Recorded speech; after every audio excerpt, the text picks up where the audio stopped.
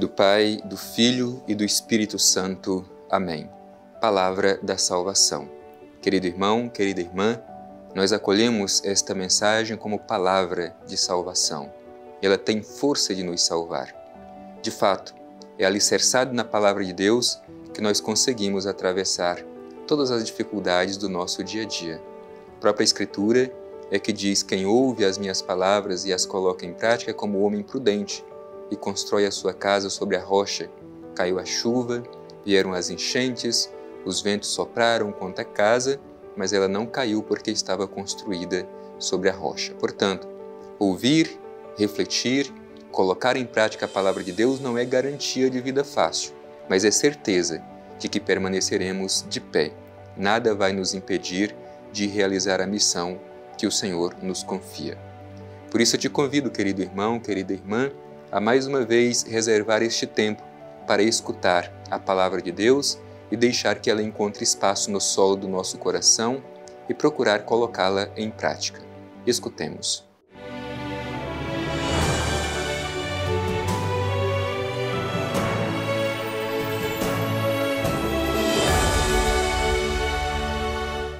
Proclamação do Evangelho de Jesus Cristo segundo Lucas. Glória a vós, Senhor. Como aconteceu nos dias de Noé, assim também ocorrerá nos dias do Filho do Homem. Comiam, bebiam, casavam e davam-se em casamento, até o dia em que Noé entrou na arca.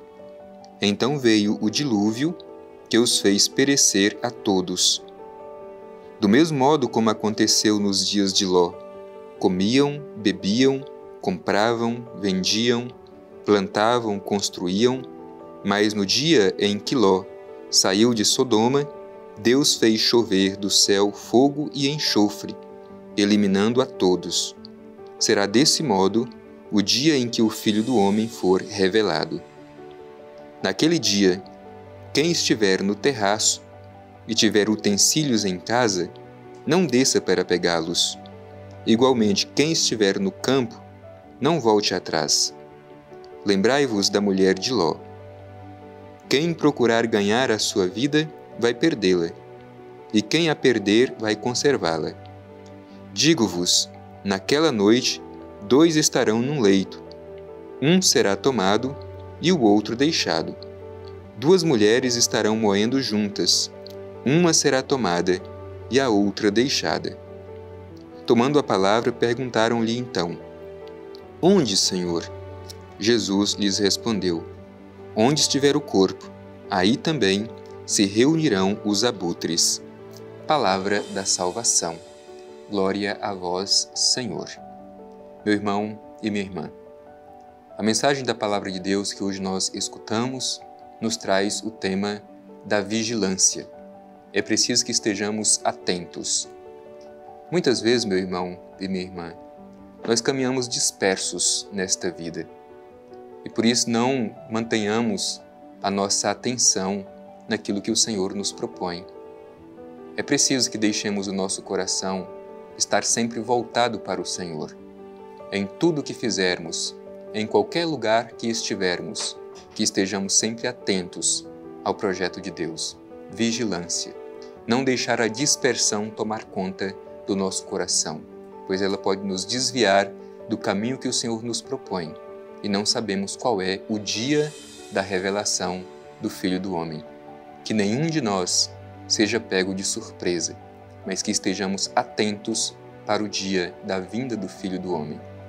O Evangelho começa dizendo: Como aconteceu nos dias de Noé, assim também ocorrerá nos dias do Filho do Homem. Comiam, bebiam, casavam, davam-se em casamento, até o dia em que Noé entrou na arca, então veio o dilúvio que os fez perecer a todos, do mesmo modo como aconteceu nos dias de Ló, comiam, bebiam, compravam, vendiam, plantavam, construíam.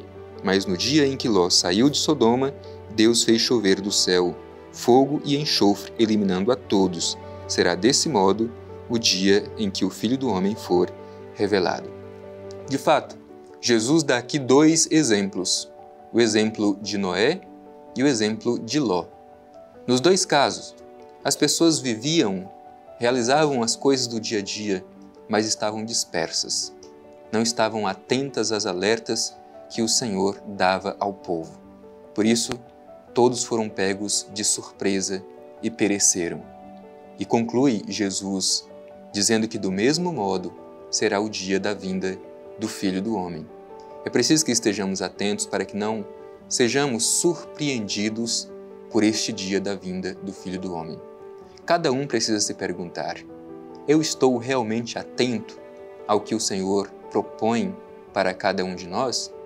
Eu tenho caminhado disperso por aí. Eu tenho desviado do caminho que o Senhor nos propõe. Outras coisas têm chamado a minha atenção e eu tenho dirigido os meus passos em direção a estas coisas, me esquecendo daquilo que verdadeiramente o Senhor propõe para a minha vida. Cuidado com a dispersão, que não sejamos pegos de surpresa no dia da revelação do Filho do Homem. Em seguida, Jesus continua o Evangelho dizendo: Naquele dia, quem estiver no terraço e tiver utensílio em casa, não desça para pegá-los. Igualmente, quem estiver no campo, não volte atrás. É preciso que a gente tenha esta consciência. Todos os dias devemos fazer esta preparação para a revelação do Filho do Homem, para o dia da revelação do Filho do Homem. Afinal de contas, quando esse dia chegar, não teremos mais tempo.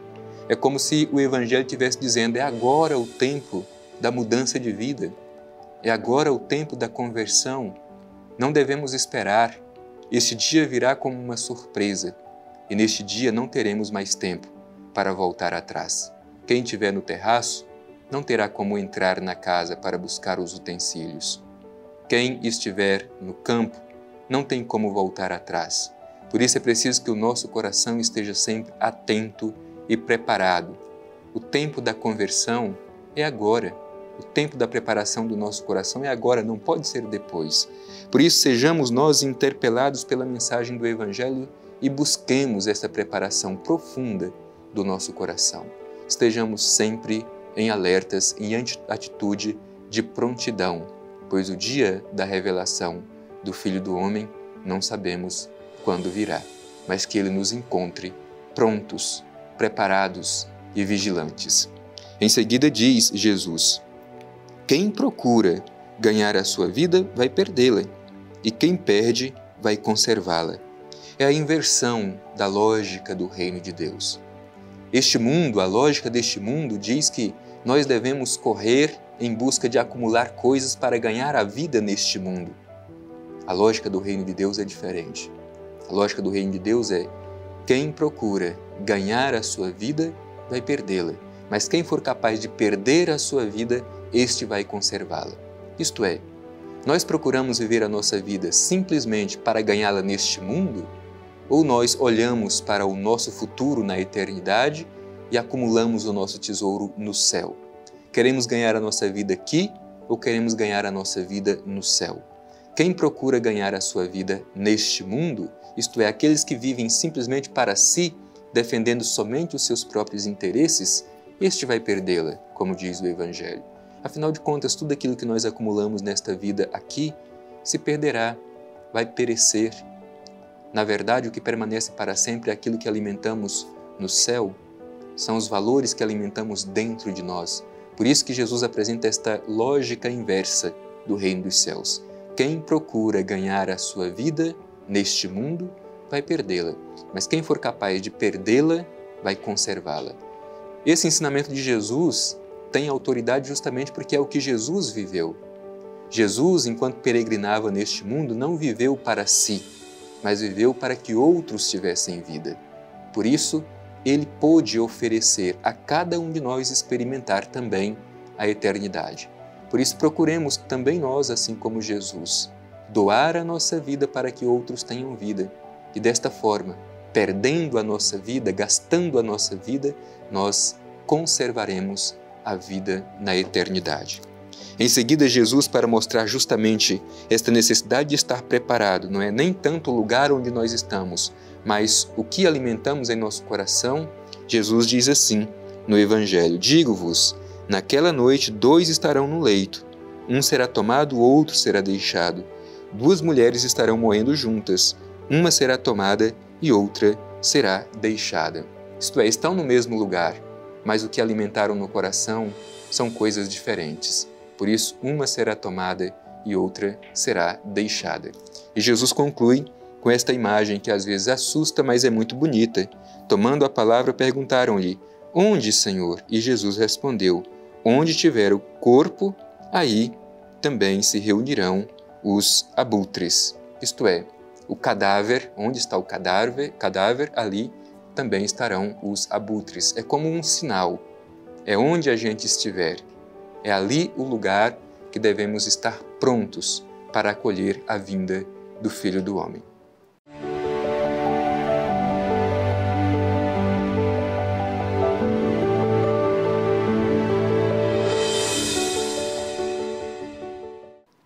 Estamos concluindo mais este nosso encontro.